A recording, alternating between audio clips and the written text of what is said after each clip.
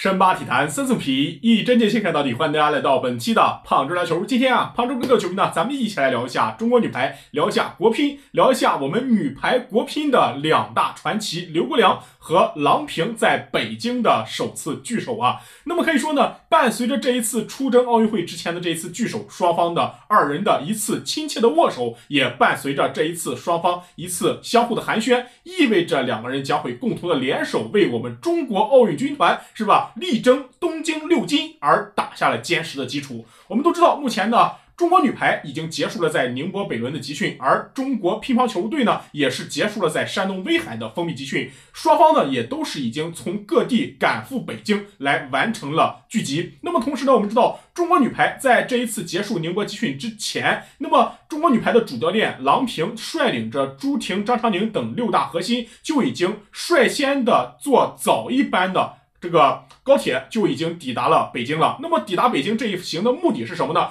主要目的就是为了参加中国奥运军团出征仪式的一张大合影。那么拍摄这张大合影呢，我们知道汇聚了各个运动项目的一些。精英成员，那么包括了各个项目上的一些运动员和教练员，那么能够看出这一张大合影里边全都是一些奥运冠军级别的成员。那么像中国女排的，你像这个朱婷、张常宁、龚翔宇在内这些核心，包括了郎平主教练，那么包括了乒中国乒乓球运动员这边像马龙这样的奥运冠军，包括了像刘国梁这样的功勋的教练，那么也都是纷纷的出席。能够看出这一张的大合影也是堪称一张我们中国奥运军团的奥运冠军的全家福。那么这张全家福也堪称是。是有着非常大的分量，也为我们中国奥运军团在即将开打的东京奥运会取得一个好的成绩，也算是提前吹响了一个。冲锋号，而且呢，我们能够发现，在这张大合影中，首先我们发现了，其实朱婷呢，她是站在了一个 C 位的位置上，在前排是吧？作为这一次参加大合影中的六位女排姑娘中唯一一位能够站在前排 C 位的位置，足以彰显出朱婷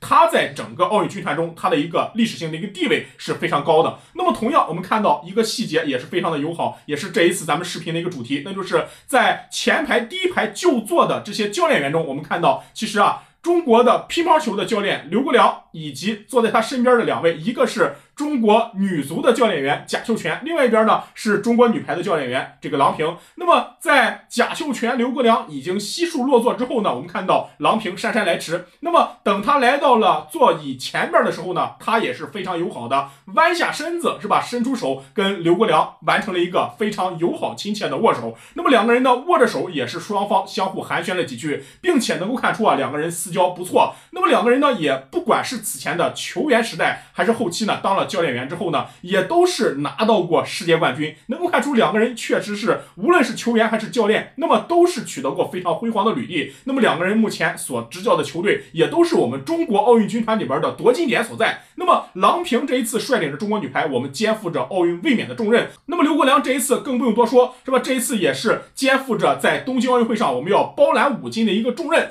虽然说呢，这一次我们抵达东京之前，我们会面临着重重的困难，面对着新规则的改变，面对着日本的乒乓球运动员的一些围剿，是吧？面对着种种的困难，但是国乒这一次我们一定会坚定信念。伴随着此次两大传奇的聚首，相互之间的鼓励，相互队伍之间的一些鼓舞的军心，我相信双方彼此之间都会更加坚定了一颗信念，那就是为了中国奥运军团要全力以赴的拿下这六块金牌，对吧？国乒的五块金牌，再加上女排的这块金牌，拿下这六块金牌，为我们中国奥运军团来争光添彩。我们也更期待着国乒将士，期待着女排的姑娘们能够在东京奥运会上有着一个上佳的表现，能够在东京奥运会上打。出属于我们中国奥运健儿的精气神，发出属于我们中国体育人的最强音，我们也拭目以待。好了，那么本期的胖周聊球啊，咱先聊到这儿。喜欢胖周的别忘点关注，胖周啊，天天陪您聊点球。